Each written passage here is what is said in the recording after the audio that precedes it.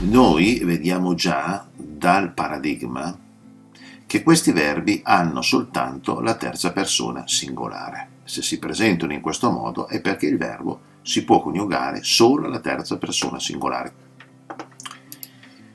Me puduit suscepti negozi. Questi verbi, pentirsi, vergognarsi, annoiarsi, rincrescersi, sono, come voi vedete, dei verbi riflessivi. Penitet traduce già questa particella. Penitere vuol dire pentirsi. Non c'è bisogno di mettere, di aggiungere una particella pronominale. Detto questo, ritorniamo alla nostra proposizione. Io trovo me puduit. Questo me non è la particella di vergognarsi, perché puduit traduce già vergognarsi. Puduit traduce si vergognò.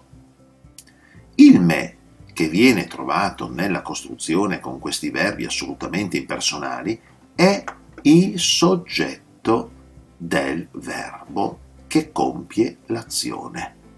E il soggetto di questi verbi non si presenta in latino in caso accusativo. Quindi quel me deve essere tradotto, in questo caso, io.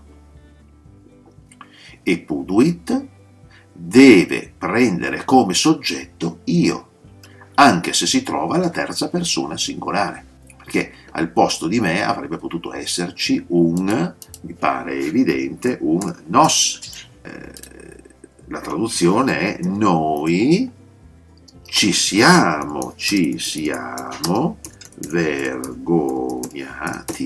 Se c'è il nos, evidentemente la traduzione è noi e il puduit non si traduce più mi sono vergognato, ma ci siamo vergognati, perché si deve adattare evidentemente al soggetto, al nuovo soggetto.